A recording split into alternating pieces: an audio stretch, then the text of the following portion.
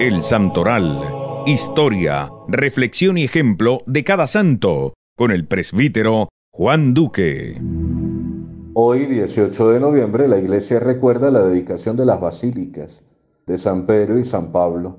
La actual basílica de San Pedro en Roma fue consagrada por el Papa Urbano VIII el 18 de noviembre de 1626, aniversario de la consagración de la Basílica Antigua.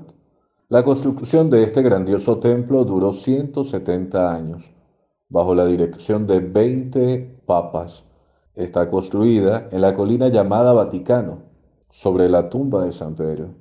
Allí en el Vaticano fue martirizado el apóstol crucificado cabeza abajo, y allí mismo fue sepultado. Sobre su sepulcro hizo construir el emperador Constantino una basílica más tarde, y esa magnífica iglesia permaneció sin cambios durante dos siglos. Junto a ella en la colina llamada Vaticano fueron construyéndose varios edificios que pertenecían a los sumos pontífices.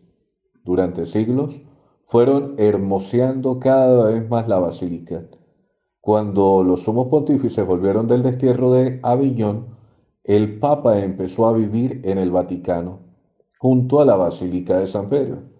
Hasta entonces, los pontífices habían vivido en el palacio, junto a la Basílica de Letrán.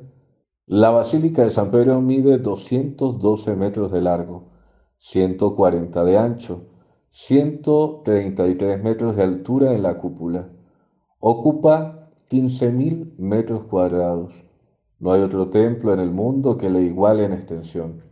Su construcción la empezó el Papa Nicolás V y la terminó y consagró el Papa Urbano VIII.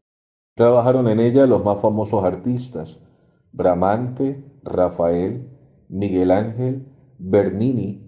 Su hermosura es impresionante. Hoy recordamos también la consagración de la Basílica de San Pablo, que está al otro lado de Roma, a 11 kilómetros de San Pedro, en un sitio llamado Las Tres Fontanas, porque la tradición cuenta que allí le fue cortada la cabeza de San Pablo y que al cortársela cayó al suelo, dio tres golpes, y cada golpe de la cabeza salió una fuente. Allí están las tales tres fontanas.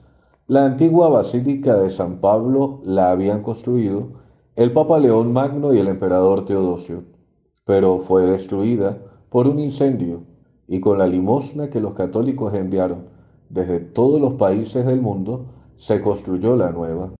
Estas basílicas nos recuerdan los generosos que han sido los católicos de todos los tiempos, para que nuestros templos sean lo más hermoso posible y cómo nosotros debemos construir generosamente para mantener bello y elegante el templo de nuestra parroquia o comunidad. Propongámonos tener siempre el más grande respeto y veneración por nuestros templos.